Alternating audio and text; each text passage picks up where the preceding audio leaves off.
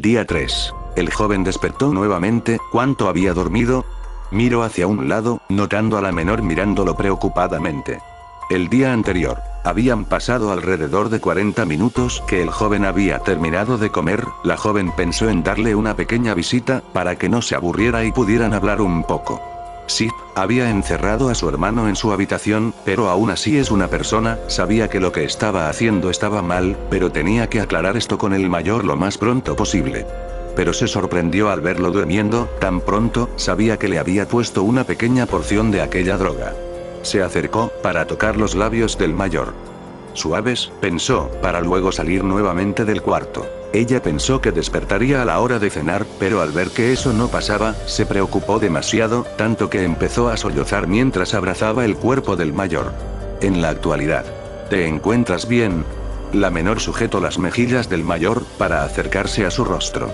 Se sonrojó fuertemente por la cercanía de la menor, pensando por qué mis mejillas están calientes, ya veo, estoy sonrojado por tenerla tan cerca, desvió la mirada. La joven la abraza, mientras se escuchaba un leve sollozo me alegra que estés bien. El joven aún con un sonrojo, no pudo evitar sonreír, pensando creo que, será mejor hablar de por qué está pasando esto, pensaba hablar, pero fue interrumpido por la menor.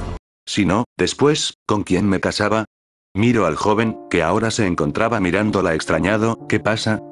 Pensando creo que será mejor no decir nada por ahora, y tratar de averiguar qué está pasando, cerró sus ojos, tratando de pensar qué estaba pasando, pero sintió una leve presión en sus labios. La joven no pudo evitar besar al mayor, notó cómo este iba correspondiendo lentamente. No iba a desperdiciar esta oportunidad. Digo, lo tenía amarrado, podía hacerle lo que se le dé la gana. Sonrió perversamente por la acción que iba a hacer. Tres horas después. Vamos querido, no te enojes, abrazaba al mayor por la espalda, obviamente haciendo que éste sintiera sus pechos. ¿Cómo quieres que no me enoje? Aún estaba sonrojado por lo que acababa de pasar entre su hermana y él, lo habían hecho, pero, solamente se sentía culpable, eso no debía haber pasado, o no ahora. Así, se acercó al rostro del mayor, para besar su mejilla, por alguna razón el sonrojo del mayor aumentó te ves lindo así.